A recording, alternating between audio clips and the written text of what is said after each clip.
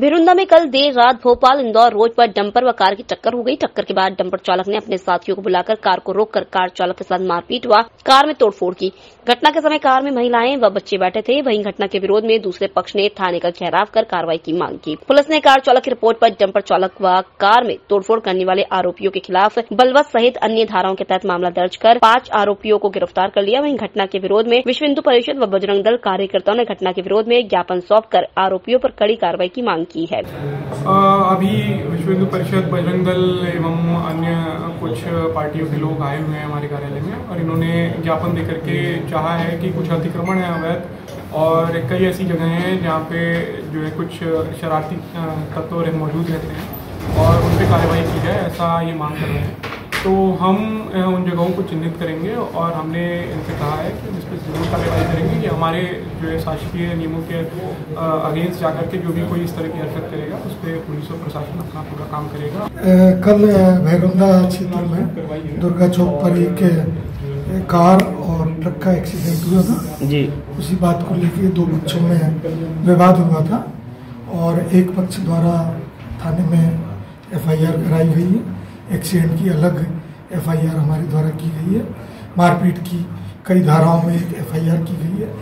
और उसमें मारपीट के मामले में जितने भी आरोपी थे उनको रात में ही पुलिस प्रशासन द्वारा गिरफ़्तार कर अभी न्यायालय पेश किया जा रहा है।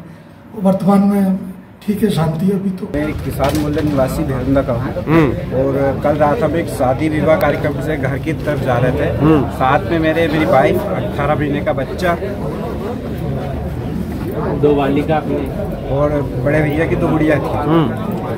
एक ट्रक ने मेरे को साइड से आके टक्कर मारी। हम्म। उसके बाद में ट्रक को इस पार्ट से कुछ लोगों ने भगा दिया गया। मैंने आगे जाके उसका पीछा करने का सोचा तो ट्रक को आगे जाके ट्रक रुक चुका था।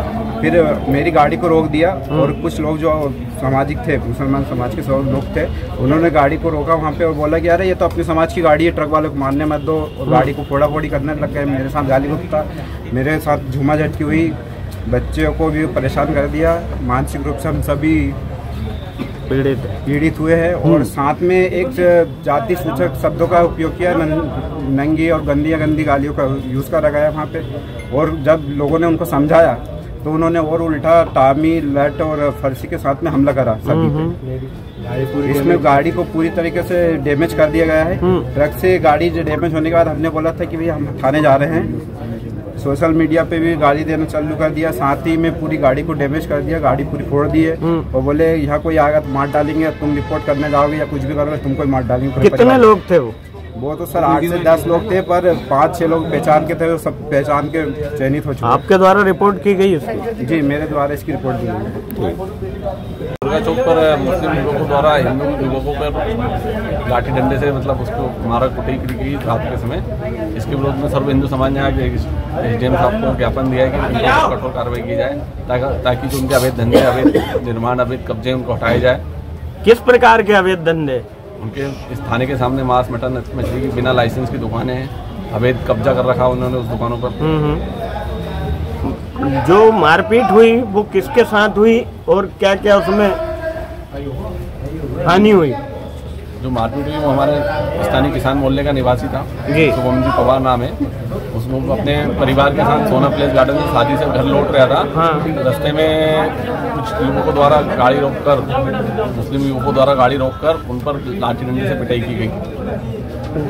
कारण क्या रहा उसके पीछे कारण ये रहा कि उनकी एक ट्रक से टक्कर हुई थी। हम्म। ट्रक ट्रक किसी मतलब बाहर के मेरे वाले रिलेटिव का था तो उनका फ़ोन आया कि मेरे ट्रक को रोक लिया गया तो वो आए। कुछ पूछा ना था अच्छा सीधे डाटी डम कितने लोग होंगे? वो लगभग आठ से दस लोग थे जिसमें से चार पाँच लोग के नाम तो चिन्हित कर कर हमने बता दिया गाड़ी में क्या बच्चे महिलाएँ महिलाएँ बच्चा मेले सब पूरा परिवार सही था दो महिलाएँ थी एक बच्चा था। भिरुंदा से ईएमएस टीवी के लिए सुनील केसैरा की रिपोर्ट।